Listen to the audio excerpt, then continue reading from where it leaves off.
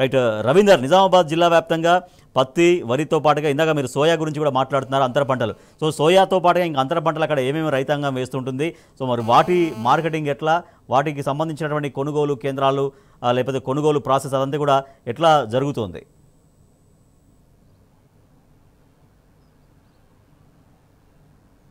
రాజేష్ దాదాపుగా water resource ఏదైతే తక్కువగా ఉంటుందో ఆ ప్రాంతంలో ముఖ్యంగా అంతర్ పంటలు వేస్తారు. అదేవిధంగా తక్కువ వర్షపాతంగా నమోదు పండే పంటలు కూడా వేస్తారు. అందులో సోయాబీన్ ప్రధానమైనది ఉంటుంది. ఇది జుక్కల్ పరిసర ప్రాంతాల్లో లక్షలాది మెట్రిక్ టన్నులు నిల్వలో ఉంది. గతంతో కంపారిజన్ చేసుకుంటే ముఖ్యమంత్రి కేసీఆర్ కొనసాగిన సమయంలో దాదాపుగా సోయాబీన్ క్వింటాలకు ఆరు వేల నుంచి ఎనిమిది వేల మధ్యలో ఈ మధ్యలో కొనుగోలు చేసింది ప్రభుత్వం. కొనుగోలు కేంద్రాలు ప్రారంభించింది ప్రభుత్వం.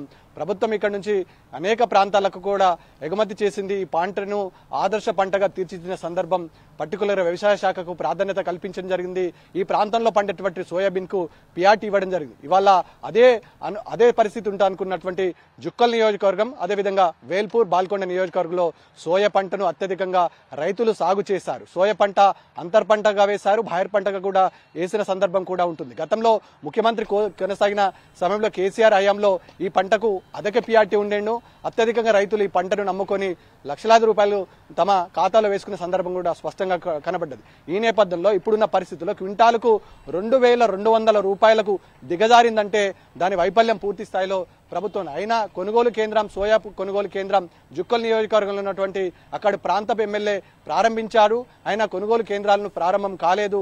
సోయాను కొనుగోలు చేయడం లేదు.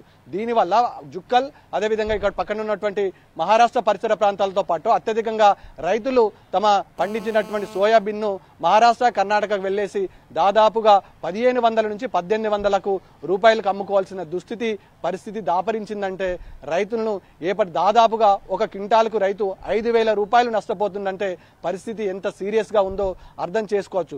సోయను ఎండబెడుతున్నారు రైతులు. వర్షాభావ పరిస్థితుల్లో తుఫాన్ హెచ్చరికల నేపథ్యంలో ఎక్కడ పెట్టుకోవాలని అర్థం కాక ఒక వైపుగా సంపూర్ణంగా ముఖ్యమంత్రి కేసీఆర్ కొనసాగిన సమయంలో దాదాపుగా మార్కెట్ యార్డు సమయంలో అదేవిధంగా గోదాములలో నిల్వయించుకోవడానికి వెసులుబాటు కల్పించారు. కానీ ఏ ఒక్క గోదాము కూడా ఇవాళ పనిచేయాల్సిన పరిస్థితి లేకుండా పూర్తి స్థాయిలో వ్యవసాయ రంగాన్ని నిర్వీల్యం చేసిన సందర్భం ఈ రేవంత్ రెడ్డి సర్కారుకు దక్కుతుందని రైతులు ఆవేదన వ్యక్తం చేస్తున్నారు. మహారాష్ట్ర పరిసర ప్రాంతాలు ఉన్నటువంటి గ్రావిటీని బేస్ చేసుకుంటే అక్కడి గవర్నమెంట్ ఇచ్చే ప్రోత్సాహకాలు చూస్తే దాదాపుగా నూట నలభై రూపాయల తక్కువగా ఇస్తున్నారని రైతుల ఆవేదన వ్యక్తం చేసిన సందర్భం స్పష్టంగా కనబడుతుంది. ఇక మొక్క మొక్క జొన్న అదేవిధంగా సోయాబీన్ అంతర పంటలుగా వినియోగిస్తున్నట్టు రైతులు ఇటు గ్రావిటీ తక్కువ ఉన్నటువంటి రైతులు అదేవిధంగా డ్రాట్ ఏరియాలో పండించే ప్రధానమైన పంట ఎల్లారెడ్డి కామారెడ్డి నియోజకవర్గాల్లో వర్షాభావ పరిస్థితి తక్కువగా ఉంటాయి కాబట్టి ఇక్కడ మొక్కజొన్న మక్కను ఎక్కువగా రైతులు సాగు చేసే సందర్భం కూడా స్పష్టంగా కనబడుతుంది. రైతులు ఒకటే చెప్తున్నారు ముఖ్యమంత్రి కేసీఆర్ కొనసాగినంత సమయంలో ఇలాంటి పరిస్థితి కానీ అలాంటి దుస్థితి కానీ చూడలేదు. మొక్కకు మద్దతు ధర ప్రకటించింది. మొక్క కొనుగోలు కేంద్రాన్ని ఏర్పాటు చేసింది. సకాలంలో రైతుల ఖాతాల్లో డబ్బులు వేసింది.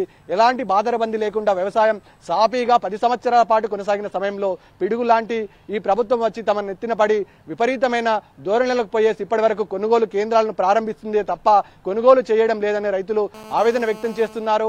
ముఖ్యంగా చిన్న సన్నకారు రైతుల పరిస్థితి అత్యంత దారుణంగా ఉంటుంది. ఇందులో కౌలు రైతుల పరిస్థితి కూడా తీసుకోవాల్సిన అవసరం ఉంటుంది వాళ్ళు రొక్కాడితే గాని డెక్కాడని దీనస్థితిలోకి వెళ్ళే నెట్టే ప్రమాదం ఉంది ఒకవేళ ఐదు వందల రూపాయలు ప్రభుత్వం ఇస్తానన్న బోనస్కు ఆశపడి ఇవాళ నిల్వ ఉంచుకుంటే రైతులు నట్టేట మునుగుతామనే భయాందోళనతో తక్కువకో ఎక్కువకో ముందు తమ దగ్గర ఉన్న సరుకును బయటకు పంపించాలనే ఆలోచనతో ఇక్కడ ఉన్నటువంటి సరుకుకు దాదాపుగా రెండు వందల నుంచి రెండు వందల యాభై రూపాయలు తక్కువకైనా రైతు ఇవాళ తన ధాన్యాన్ని ఎత్తే ప్రయత్నం చేస్తుండు ఇతరులకు అమ్మే ప్రయత్నం చేస్తుండు ఆ డబ్బులు సొమ్ము మరి వస్తుందా. రాదన్న విషయం తర్వాత విషయం కానీ ప్రభుత్వం ఏం మారుస్తుంది ఎట్టి పరిస్థితుల్లో బోనస్ ఇవ్వదు అని రైతు నిర్ణయించుకున్నాడు